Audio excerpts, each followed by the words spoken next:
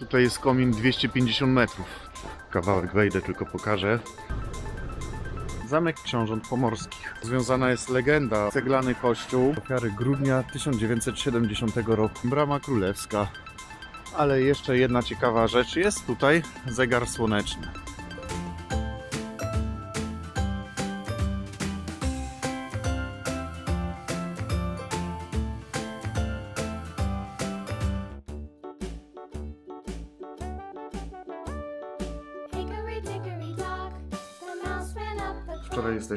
Wujka Barego w Szczecinie, więc dzisiaj postaramy się gdzieś pojechać i zobaczyć fajne miejsca. Idziemy zaraz zwiedzać, Lila? Tak. Pozwiedzamy sobie coś? Tak. Atrakcja dla Lili u wujka. Fiona. Lubisz się bawić z pieskiem? Tak. Lubisz. Tak. Teraz Lila nagrywa. Cześć, tutaj jesteśmy. Lila teraz nagrywa, wiesz nas. No. I największa śliczność tego domu.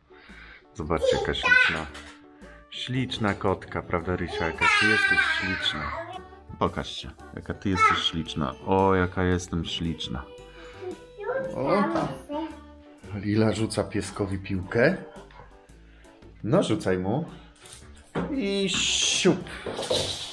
O, ale wślizg był. Bo praca. I Lila je śniadanko. Dobre płatki. Obiecaliśmy, jedziemy trochę zwiedzać Szczecin. Zaczniemy od e, starej fabryki Wisport. To jest na pewno ciekawe miejsce. Jest tam komin, na który kiedyś chodziłem. Jeden z najwyższych kominów, nawet chyba w Europie. Na, na pewno jest na tym kominie najwyższy sky jump, z którego się skacze e, z 250 metrów. Skręcamy w ulicę transportową. O i jest, mamy stare fabryki, proszę bardzo. Właśnie tutaj jedziemy. Ktoś, kto lubi Urbex, Urban Exploration, na pewno tutaj znajdzie coś dla siebie. Przejeżdżamy przejazd i jesteśmy już na terenie starych fabryk e, Viscordo. Tutaj w lewo jest Dream Jump, czyli ten najwyższy jumping w Europie.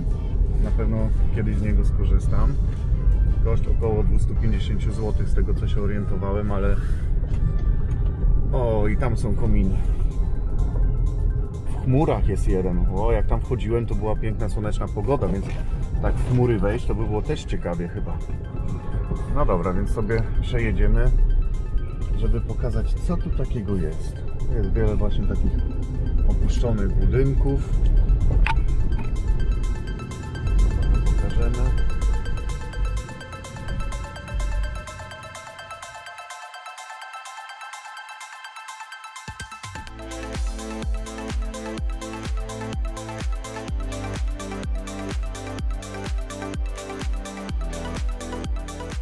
Większości tych budynków można wejść sobie, poeksplorować trochę. O, kawałek pokażę, ale to tak szybciutko.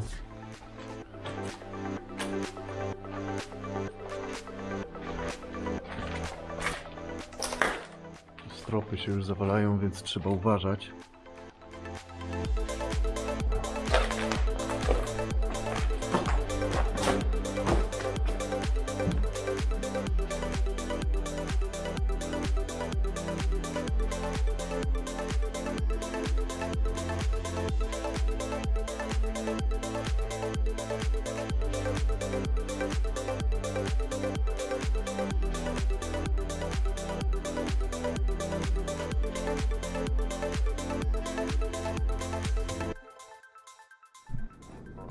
Wjeżdża pod kominy. Ja mówię cały czas sky jump to jest dream jump. No ale wiadomo o co chodzi. O, tam są kominy, jedziemy.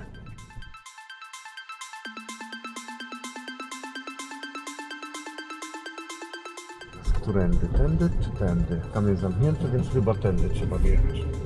Trochę błota jest, ale mamy 4 na 4 Bez przyczepki teraz. To na pewno damy radę. O, i tu jest cały ten skyjump. Ale kominy monumentalne. Zobaczcie, tu jest niższy komin. A tutaj jest komin 250 metrów, na który wchodziłem kiedyś. Przez godzinę praktycznie. O, trochę chmury zeszły, ale widać te wszystkie linki, które są i tu się tak spada, spada, spada i linka w ostatniej chwili wyciąga i gdzieś tam, tam daleko się jedzie. To musi być ciekawe doświadczenie. A jeszcze tutaj pokażę jedno ciekawe miejsce. Fragment budynku. Za drzewami, fajnie to wygląda. Tam też jest jakieś wejście. A tu jest taka fajna krata. Jakieś stare wejście do fabryki. O. Także tak to wygląda. Kawałek wejdę, tylko pokażę i jedziemy dalej. Wszędzie już gruzowisko jest. Ale ma swój urok, ja lubię takie rzeczy. Natomiast z Lilką na pewno tu nie wejdę, więc jedziemy dalej. Także trochę przybliżyliśmy Wam starą fabrykę Wiskord w Szczecinie i jej kominy. E, Jeżeli chodzi o e, stanięcie na dziko, ja bym się nawet nie bał tu gdzieś e, z boku stanąć, żeby przenocować, ale to też zależy od człowieka. Niektórzy się boją w takich miejscach stać, niektórzy nie.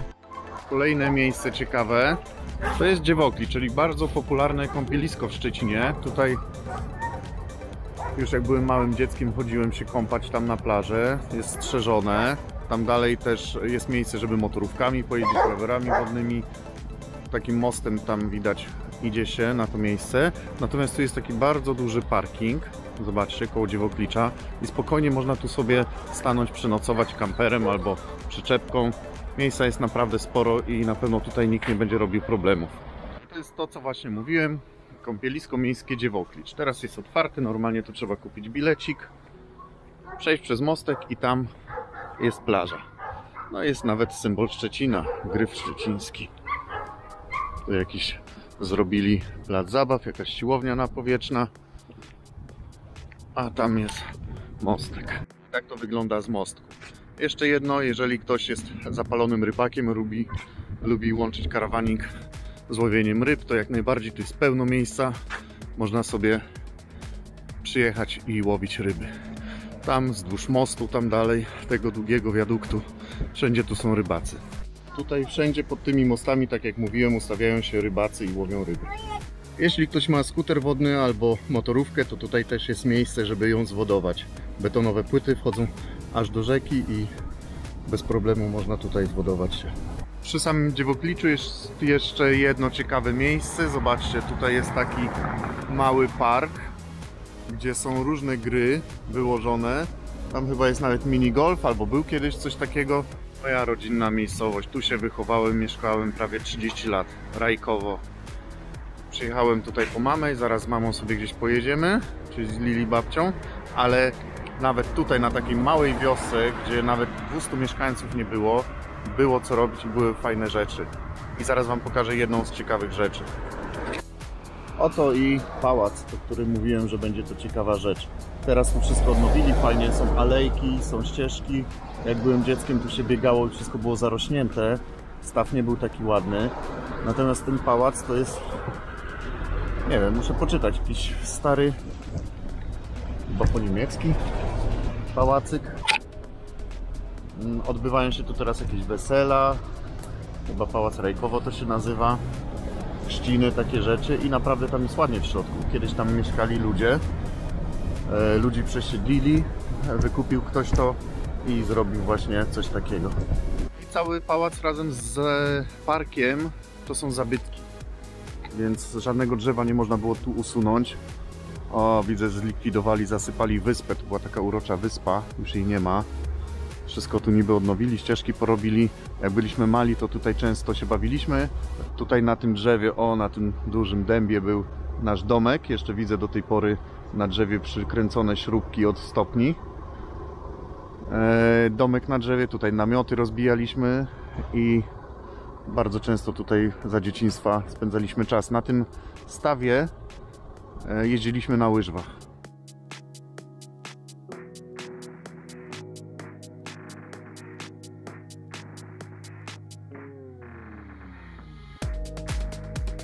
Kiedyś była kotłownia i tu wszędzie mieszkali ludzie. Teraz jest taki zespół ładny z parkiem.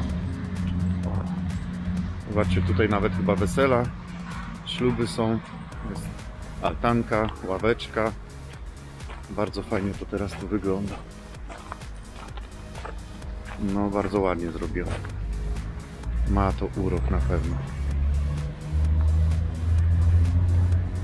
A tam zaraz za parkiem, właśnie w tamtym miejscu jest mój rodzinny dom.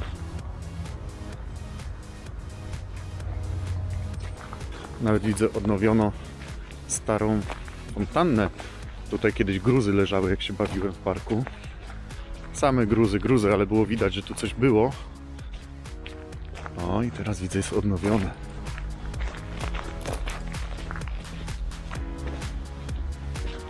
No, ładnie.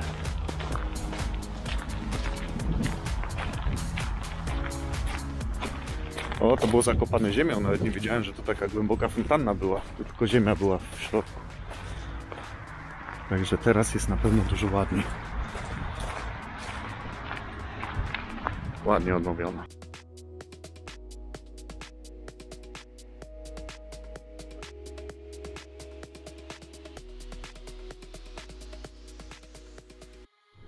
Także opuszczamy uroczy pałac razem z parkiem w Rejkowie. Bierzemy babcię i z Lilą jedziemy dalej pozwiedzać Szczecin. Kościół. Tu są trzy obok siebie, tam za nim jest taki cały z betonu, jak- wygląda jak bunkier trochę.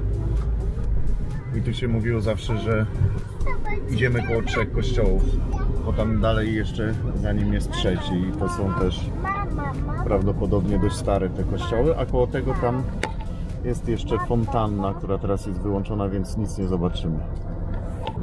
Tam przed nami jest katedra szczecińska. Ten szczyt tej katedry był wielokrotnie przebudowywany, bo po wojnie była zniszczona. Obecnie wygląda tak, jak teraz wygląda. Może uda się gdzieś w pobliżu podjechać, to zobaczymy sobie. Przed nami jest jedna z bram miasta. Zapomniałem szczerze mówiąc, jak ona się nazywa, natomiast też jest to zabytek. Co ciekawe, w jej e, podpiwniczeniu jest WC po prostu. Tak potraktowali zabytek. Tutaj kiedyś był taki słynny grzybek baltonowski. Już go dawno nie ma. Też e, charakterystyczne miejsce. No i budynki Poczty Polskiej Banku też tutaj są charakterystyczne i dość stare.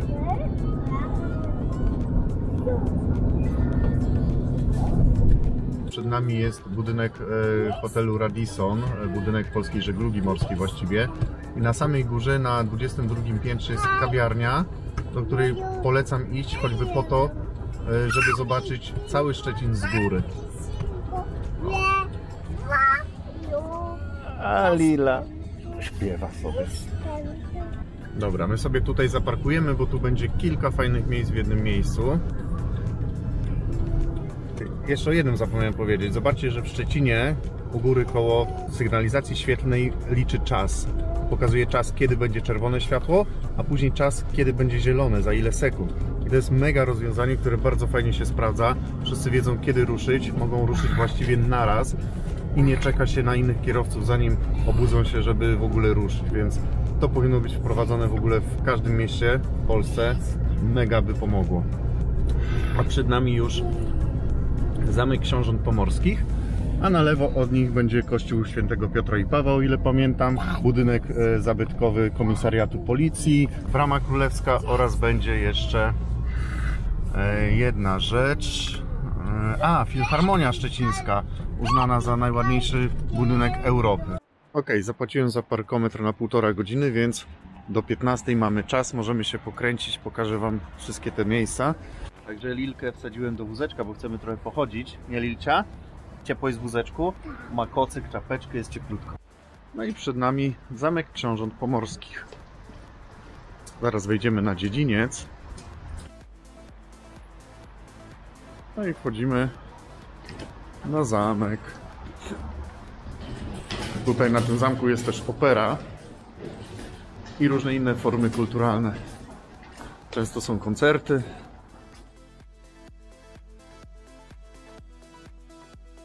Nawet kino jest tutaj na zamku, widać repertuar.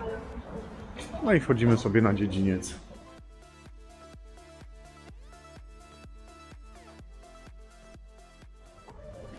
Tutaj właśnie bardzo często na koncertach bywałem.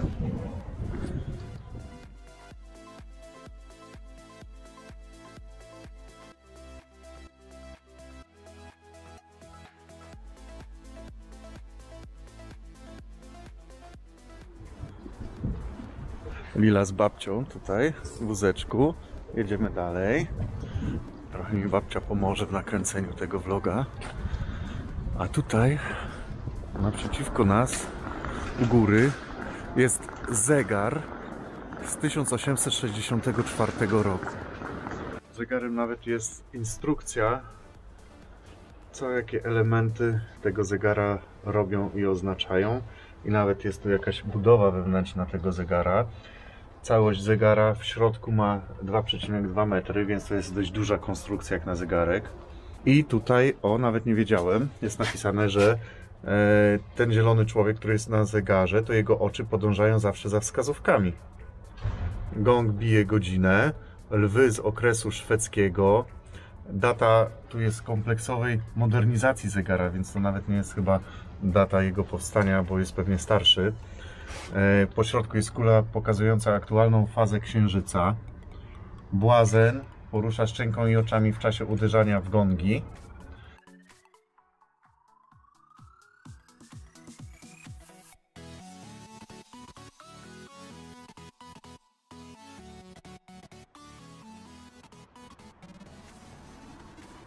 O, i tu jest właśnie opera na zamku. Tutaj jeszcze jakieś galerie. Galeria gotycka przed nami. Chyba można wejść, tylko nie wiem, czy bilety trzeba pewnie kupić. Ale chcemy dużo zwiedzić, więc na razie nie wchodzimy. Chcemy po prostu pokazać, co jest fajnego w Szczecinie. Także teraz Zamek Książąt Pomorskich. No i tu można wejść na drugą stronę, ale muszę pomóc z wózeczkiem mamie, więc na chwilę się wyłączam. Widzimy się po drugiej stronie zamku. Jednak słuchajcie, nie można wejść na drugą stronę, jest zamknięte. Tak wygląda zamek w środku. Jest nawet winda, więc dość nowocześnie już. A tu jest jeszcze jakiś dyliżans, dorożka zabytkowe. Może nie zabytkowe, tylko tak wygląda. Ale raczej nie, bo jest nawet ekran monitora. Coś tu pewnie można obejrzeć. Kareta typu plałka. Przełom wieku XIX-XX. Niestety nie przejdziemy na drugą stronę jednak, więc wychodzimy tam, gdzie byliśmy. Idziemy zwiedzać kolejne ciekawe miejsca Szczecina. Obok zamku jest pomnik Bogusława X i Anny Jagielonki. Nasza kochana Lilcia odpłynęła w objęcia Morfeusza i zasnęła. Zrobiłem jej tu wygodne posłanie z kocyka, więc ona sobie pośpi, a my sobie jeszcze pospacerujemy chwilkę.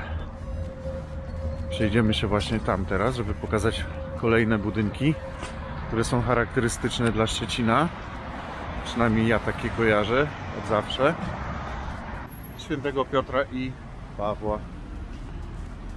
Jest to niewielki gotycki ceglany kościół, którego budowę rozpoczęto w 1223 roku. Przed tym kościołem był tu zbudowany drewniany kościół już w 1124 roku. Tuż obok zamku jest baszta siedmiu płaszczy. No i tak wygląda właśnie baszta siedmiu płaszczy, która jako jedna z nielicznych ocalała ze wspaniałych, grubych, obronnych murów Szczecina. E, Te mury kiedyś okalały miasto pierścieniem o długości ponad 2,5 km, teraz niewiele z tego zostało. I z tą basztą związana jest legenda. Otóż dawno, dawno temu było tu więzienie i osadzono krawca księcia Bogusława X, który e, dostał zamówienie na 7 płaszczy i tak umiejętnie skroił te 7 płaszczy z bardzo drogiego, niespotykanego materiału, który dostał, że zostało mu jeszcze na suknię dla swojej żony. Gdy wyszło to na jaw, krawiec został zamurowany razem e, ze swoją suknią tutaj, w tej właśnie baszcie. A tutaj mamy pomnik upamiętniający ofiary grudnia 1970 roku. Jak wiemy, wiele nieciekawych rzeczy wtedy się działo w Szczecinie e, i w Gdańsku też. Więc mam nadzieję, że do niczego takiego nigdy więcej nie dojdzie. Chociaż jak patrzę na to, co się dzieje ze szczepionkami, z maseczkami, to mam poważną obawę, czy znowu ludzie nie wyjdą na ulicę i nie będą wszyscy tłumieni przez policję, tak jak to się dzieje w niektórych krajach już. No ale to już jest inny temat. Nie wnikajmy na razie. Zwiedzamy Szczecin. Przed nami jest tutaj właśnie opera. E, Filharmonia, przepraszam, Filharmonia, której budynek został uznany za najładniejszy w Europie. Dla mnie, szczerze mówiąc, wygląda jak garaż, jak hala, jak hangar dla samolotów. E, ale trzeba przyznać, że w nocy jest to ładnie podświetlone. Zaraz obok jest budynek komisariat policji w Szczecinie, komenda miejska, która jest zabytkowa i tutaj jest wiele zabytkowych, zabytkowych budynków, a tam zaraz na wprost pójdziemy na Wały Chrobrego. E, No natomiast powstał taki trochę eklektyzm i mi to nijak się nie współgra. Te stare budynki, które tu są wręcz zabytkowe, z tą filharmonią, która została zbudowana na styl hangaru samolotowego. Ale nie mówię, niektórym może się podobać, jak najbardziej. Jak się podoba, super. Szczecin ma fajną budowlę. No i tam jest jeszcze brama królewska. Yy, Tam jest prawdopodobnie jeszcze wedlowska pijalnia czekolady, więc zaraz obok się udamy i zobaczymy.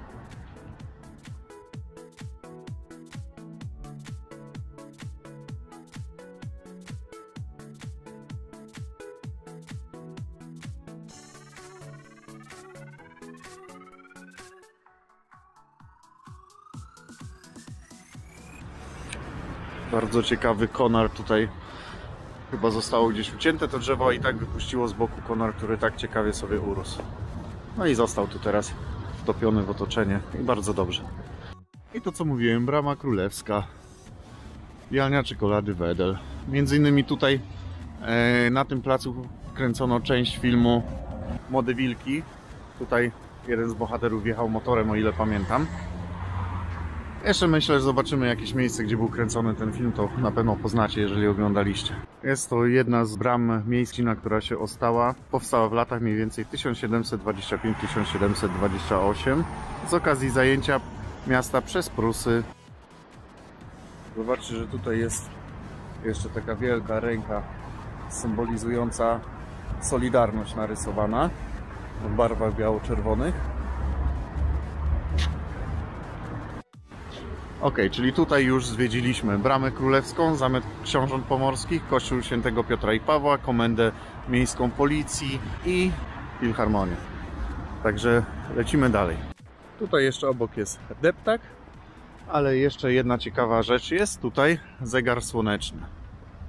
Zaraz przy tych wszystkich budynkach, obiektach, które przed chwilą zwiedzaliśmy i latem sobie fajnie pokazuje tutaj godzinę.